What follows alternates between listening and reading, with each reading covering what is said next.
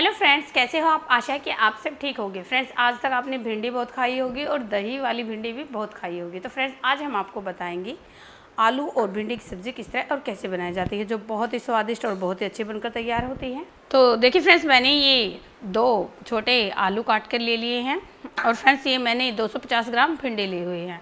आप अपनी फैमिली के अकॉर्डिंग ले सकते हैं। जितनी आपके घर में क्वांटिटी हो, उतनी ही आप भिंडी का यूज़ कर सकते हैं। तो फ्रेंड्स अब पहले मैंने अपनी भिंडियों को अच्छे से वॉश कर लिया था और उसके बाद सूखे कपड़े से इसे अच्छे से पोछ के तब लिया हुआ है। आप इसी प्रकार लीजिएगा। तो फ्रेंड्स अब हम चलते हैं नेक्स्ट प्रोसेस में। उसके लिए मैंने अपनी कढ़ाई अपने गैस पर रख ली है। और भिंडी को अगर आप सरसों के तेल में बनाएँगे तो काफ़ी स्वादिष्ट और अच्छी बनकर तैयार होगी। तो फ्रेंड्स मैंने इसमें वन स्पून सरसों का तेल डाल दिया है। ये बड़ा चम्मच लिया हुआ है मैंने। अब हम इसे अच्छे से गर्म होने देंगे। तो देखिए फ्रेंड्स, हमारे मस्टर्ड ऑयल से भाप निकलने लगी हैं। इसका मतलब ये गर्म हो चुका है। इसी पोजीशन में हम इसमें डाल देंगे थोड़ा सा नमक, जिससे कि जो मस्टर्ड ऑयल की हल्की सी महक होती है, वो ना रहे इसमें। आप वन पिंच इसमें नमक ज़रूर डालें। और फ्रेंड्स, अब मैं इसे अच्छे से मिक्स कर लूँगी। तो देखिए फ्रेंड्स, इसमें काफ़ी अच्छे तरीके से भाप बन चुकी हैं और यह है काफ़ी अच्छे से गर्म हो चुका है। इस कंडीशन में हम इसमें डालेंगे हाफ़ टी स्पून जीरा। और अब इसमें जाएगी थोड़ी सी हींग। हींग से आपका डाइजेशन सिस्टम काफ़ी अच्छा रहता है। इसे हम तड़के में यूज़ करेंगे। और फ्रेंड्स अब इसमें डालेंगे हम अपने प्याज, जो कि मैंने मोटे काट रखे हैं। और इन्हें अच्छे से हम हिला लेंगे। और फ्रेंड्स अब इसमें हम डालेंगे हाफ़ टी स्पून हल्दी पाउडर। स्वाद अनुसार लाल मिर्च पाउडर। ये मैंने लहसुन का पेस्ट लिया हुआ है। ये आप चाहो तो जीरा डालने के बाद डाल सकते हो, लेकिन मैं अभी से अब डाल रही हूँ। यह ओनियंस में काफ़ी अच्छे तरीके से पक जाएगा और अब इसे अच्छे से इसमें मिला लेंगे ताकि हमारे जो भी मसाले हैं वे अच्छे से पक जाएँ। तो देखिए, मैंने इसमें जिंजर पेस्ट डाल दिया है। इससे इसका काफ़ी अच्छा फ्लेवर आएगा। तो देखिए, हमारे ओनियंस हल्के हल्के पक चुके हैं। अब इसी कंडीशन में हम इसमें डालेंगे आलू। क्योंकि आलू हमारे थोड़ी लेट पकते हैं भिंडी से और भिंडी जल्दी पक जाती हैं। तो देखिए, इसे हम इसी तरह हिला देंगे।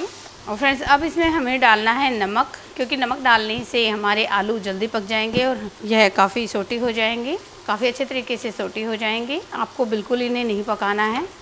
तो देखिए, मैं इसे अभी फिर से हिला दूँगी। तो धीरे धीरे हम इसे इसी तरह छोड़ देते हैं पकने के लिए। आपको इसे लो फ्लेम पर पकाना है, वरना नीचे की तरफ़ लग जाएँगे और जल जाएँगे। तो आपको बिल्कुल इसे लो फ्लेम पर दो से तीन मिनट तक इसी तरह पका पकने के लिए छोड़ देना है। और मैं इस पर लेड लगा देती हूँ ताकि ये आराम से पक जाए। तो फ्रेंड्स, एक बार हम इसे चेक कर लेते हैं।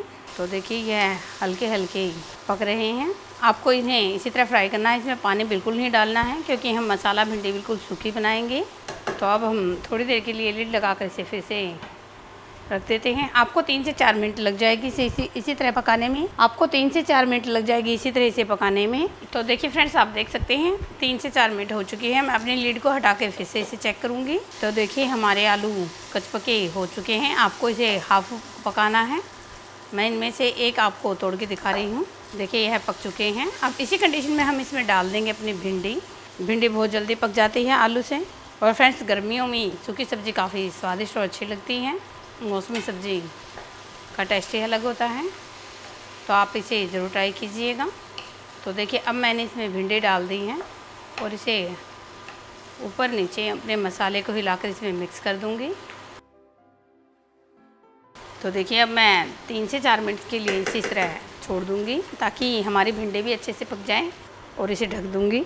तो देखिए फ्रेंड्स अब मैं इसे ओपन करके देख लेती हूँ क्योंकि 10 से 15 मिनट हो चुकी हैं। तो देखिए आप देख सकते हो हमारी भिंडी काफ़ी अच्छे से फ्राई हो चुकी है। तो इसे मैं अच्छे से हिला लूँगी ताकि ये नीचे की तरफ़ बिल्कुल ना लगे। तो देखिए दो से तीन बार मैंने बीच में इसमें संभाल लिया था। तो फ्रेंड्स इसमें आपको सिर्फ़ 10 से 15 मिनट लगेंगे बनाने में। तो आप इजीली इस तरह फ्राइड भिंडी बनाकर तैयार कर सकते हो। ये मैंने आलू और भिंडी तैयार की है। बच्चों को आलू काफ़ी पसंद रहता है। और इसका अच्छा सा फ्लेवर देने के लिए मैं इसमें डाल रही हूँ बारीक कटे हुए टमाटर। ये दो से तीन चम्मच टमाटर हैं, ये भी मैं इसमें ऐड कर देती हूँ।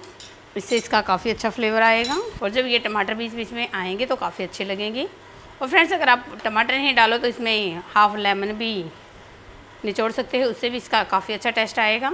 तो देखिए फ्रेंड्स ये मैंने अपनी भिंडी बनाकर तैयार कर ली है। अब इसे हम एक प्लेट में सर्व करेंगे। तो मैंने ये प्लेट ले ली है। और इसी में अपनी भिंडी में निकाल लूँगी। फ्रेंड्स, इस भिंडी को आप पराठों के साथ या रोटी के साथ या फिर पूड़ी के साथ एंजॉय कर सकते हो। ये खाने में बहुत ही स्वादिष्ट और अच्छी बनकर तैयार हुई। इसे आप एक बार ज़रूर ट्राई कीजिएगा। तो फ्रेंड्स, आपके पास जो भी मसाले हो, आप अपनी इस भिंडी की सब्ज़ी में ज़रूर डालिएगा। हमारी लाजवाब और टेस्टी भिंडी बनकर तैयार हो चुकी हैं। तो देखिए फ्रेंड्स आप देख सकते हैं हमारी मसालेदार भिंडी कितनी बढ़िया और कितनी अच्छी दिख रही है। दिखने में भी जितनी अच्छी दिख रही है, उतनी खाने में भी बहुत ही टेस्टी और बहुत ही अच्छी बनी हुई है। और फ्रेंड्स इसमें आलू का, उसका काफ़ी अच्छा टेस्ट आएगा। तो फ्रेंड्स अगर आपको फ्राइड भिंडी बनानी है तो आप इसी तरीके से बनाइएगा और इन्जॉय कीजिएगा। तो फ्रेंड्स इसे आप रोटी के साथ या पराठों के साथ या फिर पूरी के साथ एंजॉय कर सकते हो, या फिर सुबह के टाइम आप टिफ़िन में भी इसे डाल सकते हो। फ्रेंड्स ये आलू और भिंडी हमारी बनकर तैयार हो चुकी हैं। इसे आप एक बार इन्जॉय ज़रूर करना। तो फ्रेंड्स अगर आपको हमारी ये वीडियो पसंद आई तो हमारी वीडियो को लाइक कीजिए, अपने दोस्तों से शेयर कीजिए और हमारे चैनल को सब्सक्राइब करना ना भूलें। और साथ में नोटिफिकेशन बेल ज़रूर दबाएँ, ताकि आपको हमारी नई वीडियो का लिंक मिलता रहे। तो फ्रेंड्स अगली एक न्यू रेसिपी के साथ फिर से आपसे मुलाकात होगी। तब तक के लिए नमस्कार।